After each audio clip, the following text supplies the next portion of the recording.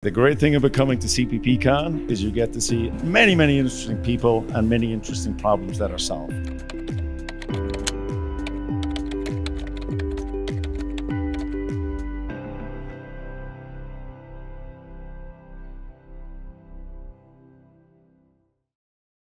I just saw it from the slides. So um, the modules, whenever we have one module that imports another, it creates a dependency in the build order um, because when it compiles the first module, it generates an IFC, which will be consumed when the next module is compiled.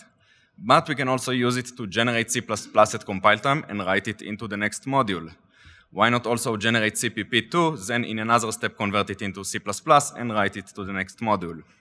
We can also generate a GLSL shader, and let's also open the calculator just because we can. So this line will open the calculator at compile time. This one will generate an interface, an enum class, inject some string, create a GLSL and a struct and a function to iterate over the data members. This is the CPP code that will be compiled and another thing. So let me build it all.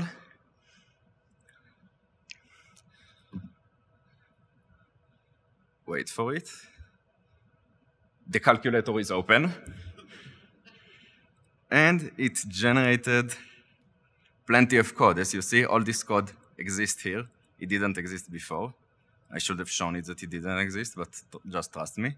Um, and in main.cpp, we have all the code that uses the code that didn't exist before. And here it generated also a, um, a GLSL uh, shader. Now, if I run it, it will print the data members of the struct. And if I go to Shadertoy and paste the shader, it will show it.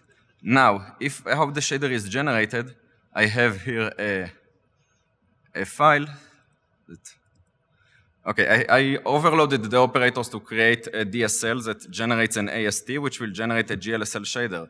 And these two lines will find the um, color nodes in the AST and change the color.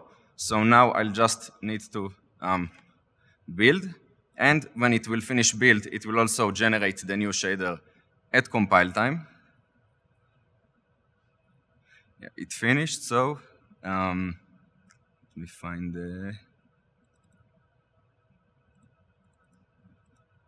I copied the new generated shader, paste it, run, and different colors.